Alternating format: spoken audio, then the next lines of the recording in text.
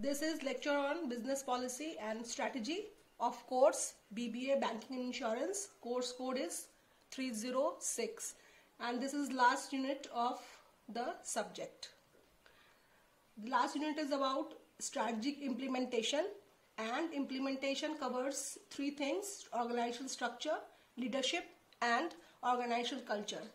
We will co first cover organizational structure.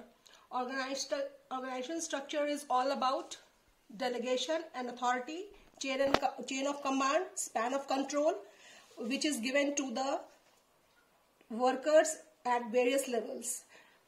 In order to implement any strategy, it is very important that structure follows strategy or strategy follows structure. Strategy following structure means that first the strategy is made and then accordingly the structural changes is made in the organization or the management sees whether the structure is already existing and accordingly the strategy is made. The main things that is uh, to be focused upon while implementing any strategy is changes in corporate strategy leads to changes in organizational structure. No strategy, new strategy is created. New administrative problems emerge. Economic performances decline. New appropriate structure is invented and profit returns to its previous levels. So implementation of structured, structural changes is very much important to for the success of the any strategy. According to that, there are four stages of strategy implementation. According to organization structure, that is stage 1, stage 2, stage 3 and stage 4. Stage 1 is very simple, uh, simple structure or entrepreneurial structure. Stage 2 is functional structure. Stage 3 is divisional structure and stage 4 is beyond SBUs. SBUs is strategic business units. Bajo. Stage 1 is simple structure or entrepreneurial structure. In entrepreneurial structure, as we know, the organization structure is very simple.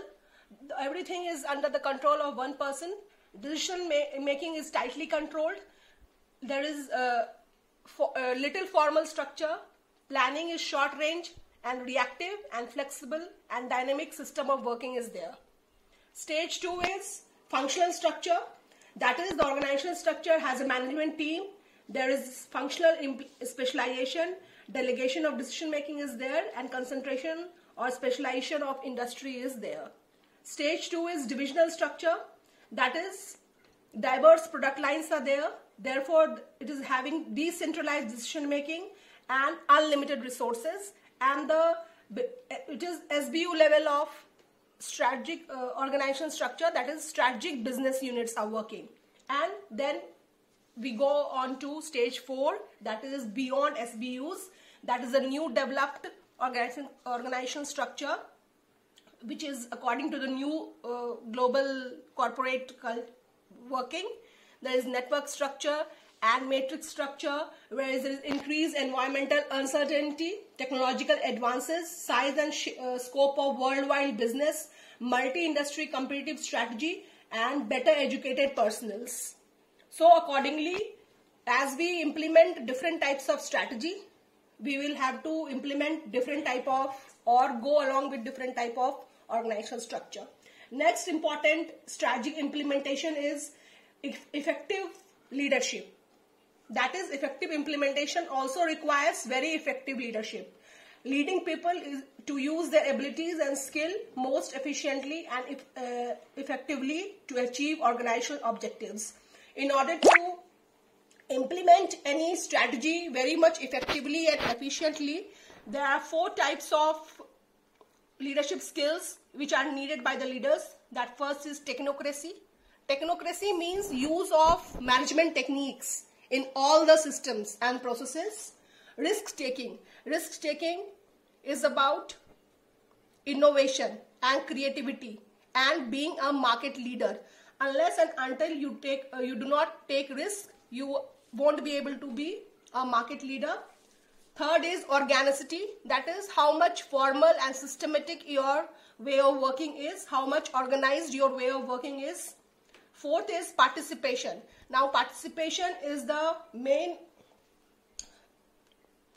basic thing in order to make a strategy successful.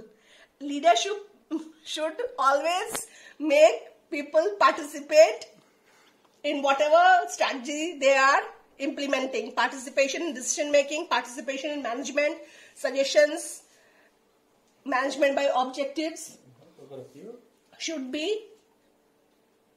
should be the main uh, basic idea behind participation and last one is coercion that is if the employees or the low level um, uh, people are not ready to accept the change not ready to take risk the man the leader also has to use coercion or that is they have to make do it by force.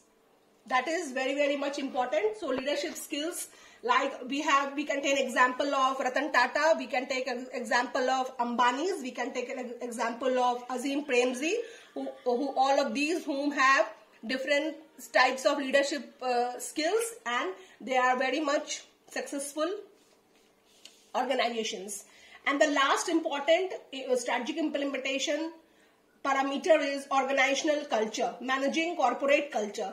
Now corporate, first we will understand what is corporate culture or organizational culture. Organizational culture is the collection of values and norms by people and groups in the organization. It is shared values and common culture increase the integration and improve coordination. Beliefs and ideas about common goals and proper behavior and norms that acts as guidelines or expectation that prescribe acceptable behavior by organizational members. So culture is basically how the things are done in any organization.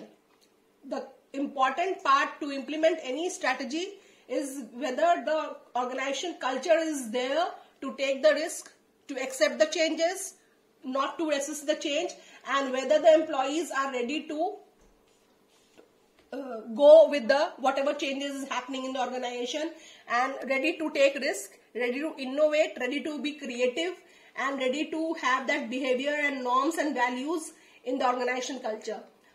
It is all the three ways of identifying organization culture is how the decisions are made, methods and style of communication, and how custom how customers are are treated.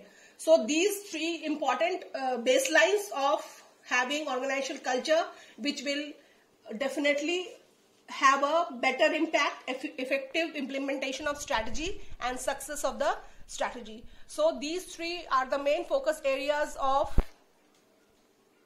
success of any strategy that is leadership skills, organizational culture and organizational structure according to the strategy that we are implementing. Thank you.